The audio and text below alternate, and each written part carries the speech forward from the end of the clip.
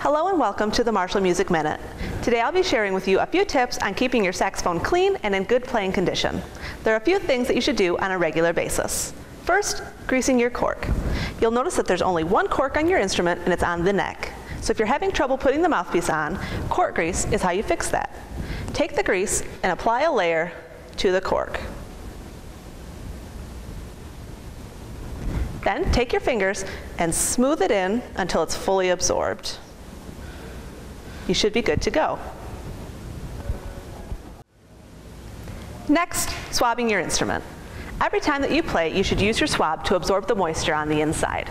The swab is a piece of fabric with a weight attached at the bottom. To use your swab, drop the weight into the top of the saxophone. When it hits the bottom, rotate it around until the weight comes out the bell. Then tug it through. And that's all there is to it. Bring your instrument in twice a year for regular maintenance and repairs. Thanks for joining us and tune in next time to the Marshall Music Minute.